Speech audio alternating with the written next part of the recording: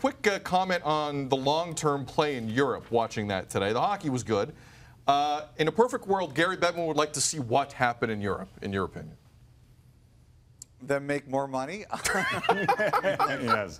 I think that I think that's probably it. You know, I, I think one of the biggest concerns is, said, you know, someone said to me that there's only four Slovaks in the National Hockey League this year. You know, that's probably the concern is to get, um, you know, some of those countries make sure that they keep the number of players up. Slovakia would be one. The Czech Republic in the past has been the other. You'll notice that they said they're going to Prague next year. They announced it today. Um, I just think they have to be consistent in in going over there, and I like the fact next year they're going there with more games. Um, you know, uh, it's just a reminder. Like they've made a lot of effort to grow the game in the United States, and I think they've been successful. And maybe they took Europe for granted. You can't take Europe for granted, and even though we're seeing some success in the United States, and they're trying to begin their foothold in China you can't forget places like Canada and Europe. And I think that that's what this is a reminder of, that you have to give them a good product and you have to give them players like Laine that they're going to get excited about every year. All right, speaking of Gary Bettman, leagues in the past have been very wary about being associated in any way, shape, or form with gambling or gambling entities. And yet, uh, we saw the NHL do a deal with MGM. Uh, obviously, the answer might be similar to the first one when it comes to money, but are you surprised that the NHL is walking down this road with MGM? No, it's gambling is, is normal now. I mean, look, in our country, we just legalized marijuana. Um, a lot of the old school vices, old school, I guess, are, are going by the wayside. Um, you know, like, and the thing is, too, is, guys, and I know you're both fans of international soccer. You know, my relatives who live overseas have been making fun of North American Puritanism on gambling for a long time. In the rest of the world, it's perfectly normal. You go to Europe, you go to Asia, you go to China. Um, those people, they love gambling on anything, even their sports. And it hasn't necessarily led to the end of the world. We're the last ones to do it. And, you know, I think the more I think about this, guys, and the more I learn about it, it's not necessarily the money you're going to make from gambling, but the money you can make on your media rights. If you bring up engagement, like for example, and I wrote this in the column this week, guys, our employer, Rogers, how long, how much do you think about their, they wonder in a couple of years, we'll be watching the game on our phones or our iPads or our, our home televisions, and they'll have a, our, an app on our phone or our button on our remote where Connor McDavid gets tripped and you, it's, are Oilers going to score on this power play? And you're like, yes, I want to bet 20 bucks on it. That's what everybody wants to have here.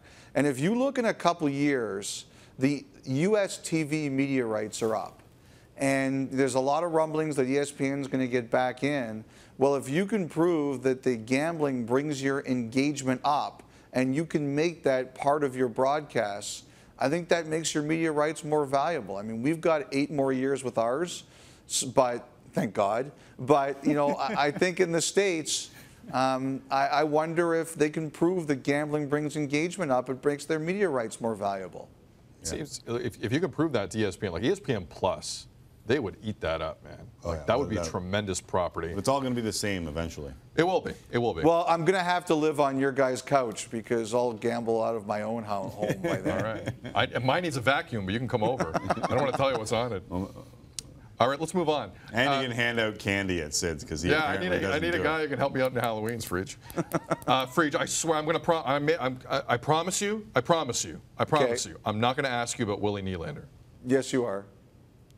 Yes, I am. Yes. Um, three, three Carolina Hurricane scouts apparently are in the building at yeah. Scotiabank Arena to watch. You love your scout stories. well, no, no, but it's it's legit. It's either legit or it's just regular hockey stuff, and it can be both. Can be. You know if this is regular hockey stuff or is Sid walking down the right road here? This is different, and, and the reason it's different is, you know, the other night people were talking. I think there were 25 scouts in Vancouver for Vancouver, Minnesota. That was a night where there were only two games in the National Hockey League. And sometimes when you have a night like that, you will see that kind of concentration at a game because there just aren't a lot of places to go to. And at that point in time, both Edmonton and Vancouver were at home and Calgary was coming home. That's not unusual. As you guys have mentioned, we have a full schedule tonight. For three guys to be at one game, that is different. That's an eyebrow raiser. And the one thing that really makes me more curious about it is that the guy they're supposedly scouting, sources tell me he's not in the lineup tonight. So what are they looking at? Uh, yeah, what the hell are they looking at, Fridge? I'm Pieces to add on to a deal that would possibly be happening, and that would make it a bigger deal, perhaps.